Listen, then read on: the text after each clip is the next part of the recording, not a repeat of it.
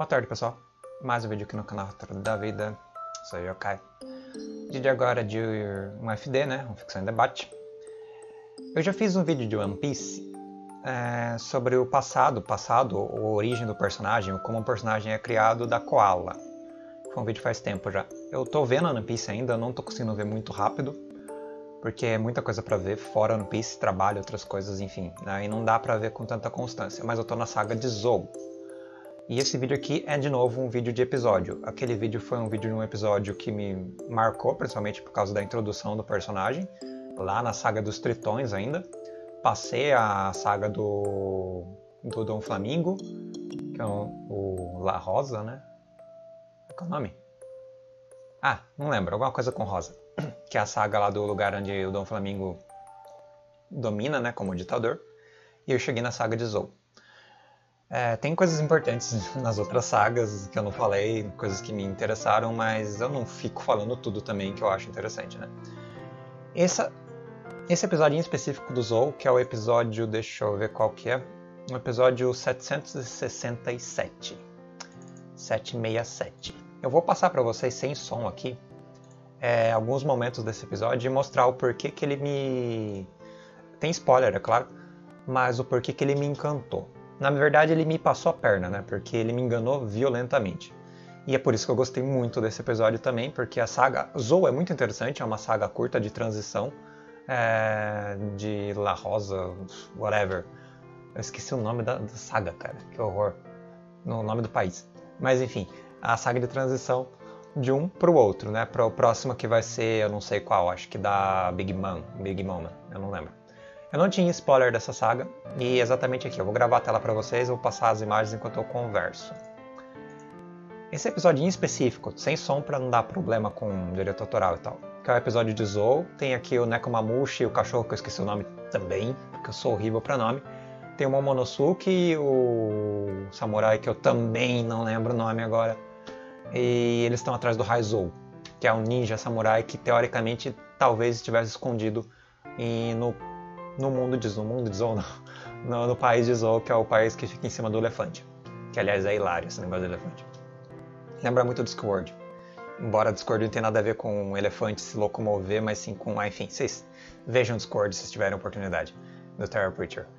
Mas enfim, é, esse episódio aqui é bem, bem interessante, porque ele faz toda uma construção do, do samurai chegando na ilha de Zou, é, os, os, os, Mugiwara deixam eles entrarem, não era para eles deixarem entrar, porque eles pensam que é, o país de Zou foi liquidado por um dos piratas do, do Kaido, que é um pirata que veio ali buscar o samurai, né, buscar esse ninja que estava teoricamente escondido é, no país de Zou.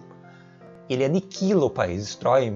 Logicamente, o One Piece não chega a dizer que morreu gente, né? Mas, tipo, quase genocida o país inteiro porque ele estava atrás de uma pessoa e eles ficam falando é, repetidamente, os habitantes usou repetidamente, o Raizou, o ninja não está aqui, não conhecemos esse cara, esse cara não existe, não sabemos do que vocês estão falando. Eles são aniquilados. Chega ao ponto de amputarem perna de gente, tipo dos dois líderes, né? Um, o cachorro perde a perna, o gato perde o braço. Spoiler, foi mal. Mas eles são aniquilados, destruídos, fuzilados pelo bando do Kaido, né? Do, do almirante do Kaido, que eu não lembro o nome também, porque eu sou horrível para nome. Bom, faz parte. Mas, enfim. Aí temos aqui os samurais entrando na ilha, todo com uma postura é, assim, imponente, macha, vamos lá, não sei o que lá. Aí usa o Mugiwara tudo retardado, tudo, não, não pode deixar, não pode deixar, pode ver, os samurais não podem encontrar os habitantes de Zou. O pessoal aqui, que tem um nome também que eu não lembro. os Minks, é, Minks, os Minks não podem encontrar com os samurais senão vai dar problema, porque eles foram dizimados pelo bando do Kaido, porque eles escondiam, estavam falando, defendendo uma pessoa que não existia ali, então eles foram inocentemente, propositalmente aniquilados, eles vão odiar os samurais, porque os samurais são meio que a, a, a causa e a razão do, do reino inteiro ter meio que colapsado e ser destruído pelo bando do Kaido. E aí tem o desfecho. E o desfecho, tipo, é absurdo. Eu não sei ao certo porque o Nekomamushi, o cachorro, que eu não lembro o nome. Bosta, eu esqueço o nome das coisas. Mas é, não, não se dão muito bem. Eu sei que é a treta de sátira, né? De, de, de eles serem piratas do bando do, do Roger, se não me engano. antigos, de uma geração anterior, que acabaram tretando um com o outro, eles não podem se ver que eles querem se matar. Tanto é que tem uma divisão em Zou que é muito interessante. O Nekomamushi governando a noite e esse cara governando o dia. Eu esqueci o nome dele, foi mal. É 12 12 horas, né? Aí eles não se batem, eles não podem se encontrar. É tipo dois reis no mesmo reino. É hilário também. tem um ponto onde o cachorro apaga e, e começa a dormir porque é, é, o fuso horário dele. Aí o gato acorda e começa a reinar. Cara, é, eu adoro. Isso é muito hilário. Aí tem aqui o Momonosuke. A gente não sabia qual a razão do Momonosuke. Pensava que ele era filho do, do samurai, né? Do. Eu esqueci o nome do samurai. Cara, eu devia ter anotado os nomes pra falar desse, desse negócio, mas tô fazendo espontaneidade mesmo. Vai assim mesmo. Aí tem toda a treta. Aí chega no ponto. Raizou estava ou não estava em Zou. E você descobre que ele estava em Zou. E eles foram aniquilados por força de vontade. Eles, eles mentiram eles defenderam o Raizou com e dentes, mentindo que o Raizou nunca estava lá, que eles não conhecem, porque eles têm uma, uma honra, uma espécie de dever, uma espécie de, de como posso dizer, é, vínculo, não dívida, mas vínculo mesmo com, com uma espécie de clã de samurais, que é o clã representado pelo Momonosuke, que é meio que o príncipe, que eu descobri também que ele é o príncipe dos samurais, ou um herdeiro de, uma, de um clã, no caso, que vai herdar um território. Eles literalmente foram aniquilados pelo bando do Kaido, quase destruíram o país, quase genocidaram a população inteira e eles não abriram um pio. Todo mundo no país não abriu um pio e todo mundo sabia, era tipo, sei lá, é, juntando para alto uns 5 mil habitantes. Ninguém abriu um pio. Crianças, mães, pais, velhos, jovens, ninguém abriu um pio não falou do Raizou, e o Raizou estava escondido. Ele foi literalmente trancafiado é, dentro do país, escondido, e eles se ferraram, eles quase morreram e não deram um pio. Eu olhei, caralho! Eu não saquei, eu fui completamente surpreendido. Eu achei foda pra caralho foda pra caralho mesmo. Desculpa não ter som, essas coisas pra não dar zica no vídeo, né? Porque não pode. Mas acho que assim, desse jeito de passar a imagem não pega nada. Pelo menos as últimas vezes não pegou nada por enquanto. Mas voltando. Foi incrível. Sim, é, One Piece tem dessas, cara. Eles, eles construíram essa tensão a saga inteira. Tá na, sei lá, esse episódio 767, né? Mas sei lá quando começou os outros episódios. Tem, sei lá, uns 24 episódios anteriores construindo isso do, deles sendo massacrados por causa de um maldito de samurai que eles não teoricamente conheciam. Mas eles, além de conhecer, protegeram, esconderam e fizeram toda, todo o esquema sabendo que esse samurai era, enfim, é alguém importante, né, que estava sendo caçado, eles não abriam a boca. E aí mostra o bando dos Mugiwara totalmente surpreso, igual eu fiquei extremamente surpreso, para descobrir esse segredo do, do, do Kakushi, do Kakushi, do Nekomamushi, do cachorro, não lembro o nome, do Momonosuke, dos dois samurais que eu também não lembro o nome. Eu sou horrível para nome de coadjuvante. É, e foi incrível, incrível. Foi muito, muito incrível. Esse episódio foi foda. Eles abaixam a cabeça pro Momonosuke, pros samurais, por causa do clã. Todo o mundo, toda a população de Zou inteira é, os Minks inteiro, dando, prestando honra, prestando referência. E depois no próximo episódio mostra o Raizou, e aí mostra o Raizou preso, acorrentado, para ele não se, se, se entregar para os piratas do Kaido, para ele continuarem se sacrificando pelo Raizou, né, pelo samurai. Esse episódio é, é, é muito bem feito. Assim, é, a saga foi muito bem feita, foi muito bem construída. E eu paguei muito pau. Esse, esse, esse vídeo é só pra mostrar o quanto eu achei incrível. e tem N outras coisas incríveis no One Piece. Logicamente o mangá deve ser muito melhor porque o anime é arrastado, a gente sabe disso. O anime é enroladão. Mas, cara, foi. Foi foda. Deixa eu cortar aqui, deixa quieto. Foi foda mesmo. Foi foda pra caramba e eu tô aqui fazendo, prestando contas e prestando uma homenagem porque eu gostei pra caralho. Eu pego outras vezes outros animes, outras pessoas falando de drama enfim, do drama dos animes e tem muito drama forçado, sabe? Esse drama ele foi o melodramático bem feito, sabe? Muito bem feito. Quando, quando o One Piece tem isso, One Piece consegue ser extremamente dramático e piegas, mas com uma qualidade emotiva, com uma qualidade de senso de humor e um timing, assim, o tempo, o timing One Piece é genial. E jogar a, o mistério ser revelado no momento certo, do jeito certo, onde não te entedia, não fica pesado, não tem uma densidade na, na, no mistério, tem uma densidade no drama. Tô vendo, por exemplo, o Blackjack com a galera do, do, do clube, e comparado com Blackjack é um melodrama um tanto mexicano, um melodrama mais anos 80, é, forçado pra caramba, piegas, brega, só que no lado negativo do brega.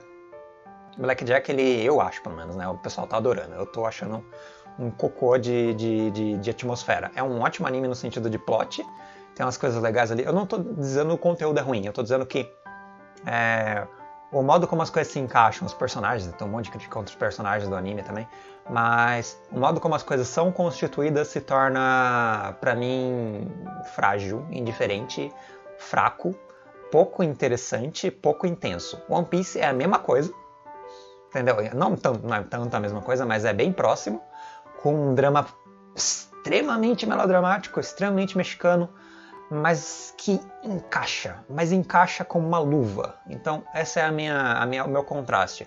Um melodrama que pode ser adequado em vários contextos diferentes, só que em alguns contextos ele funciona com uma potência absurda, em outros ele funciona com uma potência pegajosa, uma potência um tanto quanto uh, sufocante, é, forçada, ou enfim, para mim fazendo comparativos de qualidade, de intensidade, de resposta que isso dá em mim, como telespectador, eu tenho essa opinião em específico. Mas voltando para esse episódio, foi, foi, Eu sei que é spoiler, mas. É, para quem não sabia, mas eu não sabia. É, mas foi, tipo, incrível. Incrível mesmo. Eu achei absurdamente incrível essa construção de, de revelação. E os que revelaram do Momonosuke também, eu fiquei assim, tipo, achei bacana. O que revelaram do, do clã ali ter ligações com os Minks foi um time muito bom. E é isso, cara. É, eu só tô fazendo um elogio mesmo a esse episódio e algumas outras coisas de One Piece, que tem muitas coisas ruins. One Piece não é nada perfeito. Assim como, como Blackjack também, como eu falei agora, ele não é ruim. Tô dizendo que ele é um anime ok. Mas o modo como as pessoas comentam sobre o anime é tão paga-pau. Uh, até me dá um. Uh, Caramba, mano, vocês estão analisando anime ou vocês estão louvando anime? Põe num púlpito o negócio e não consegue criticar, velho. Só vê os pontos positivos e fica louvando o negócio. Eu fico, tipo, tô no clube.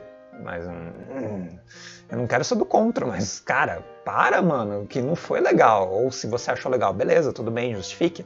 Mas justifique, não fique dizendo que, uh, por exemplo, uh, tô falando do clube do anime. É, a justificativa é o plot é legal. O plot é legal, mas eu não estou falando que o plot é ruim. A minha justificativa foi construída analisando os personagens, analisando como o drama foi aplicado.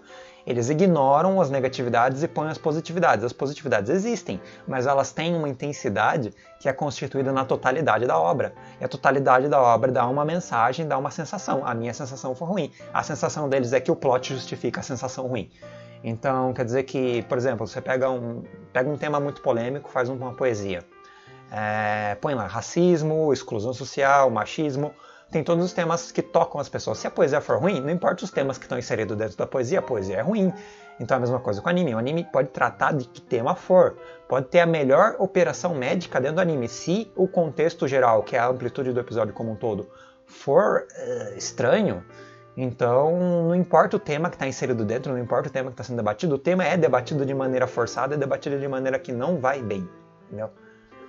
Então acaba sendo assim. É muito complicado criticar anime e é muito fácil de você parar de pensar quando você critica anime e fazer idealizações. Então, eu tô aqui fazendo uma prestação de contas também pro Blackjack, sem querer. Mas eu vou falar disso quando eu fizer a review do Blackjack. Aliás, eu vou fazer uma review do Blackjack é, do anime, desses OVAs antigos de 90 e poucos. E ficou misturado One Piece com Blackjack. que porcaria. Bem, é... Bom, voltando pro One Piece. É bem encaixado o drama, é bem encaixado uh, o momento e o mistério sendo revelado e o modo como ele é revelado e transposto na tela é muito bom.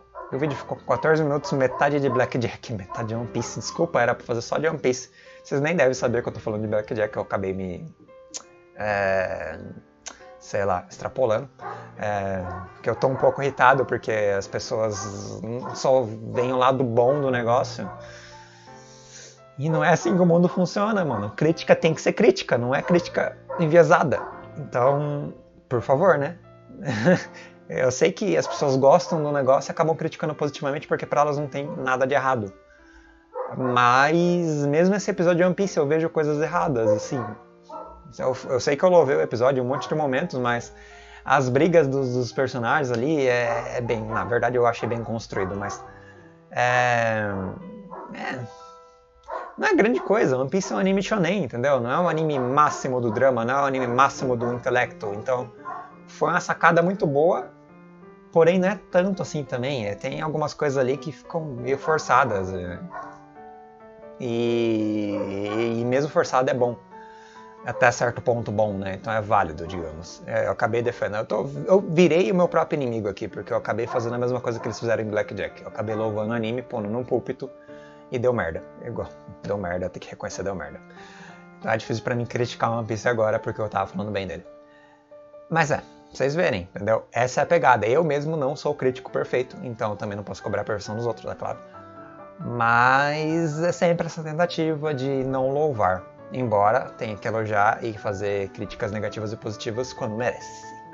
Sempre tentando ser não parcial, porque não dá, mas o máximo possível profundo na sua sensitividade e análise da, da, do macro do negócio. E essa saga de Zou tá boa. Nossa, esse vídeo ficou enorme. Bom, pessoal, Desculpa mesmo, mas é isso aí. Falou. Até mais.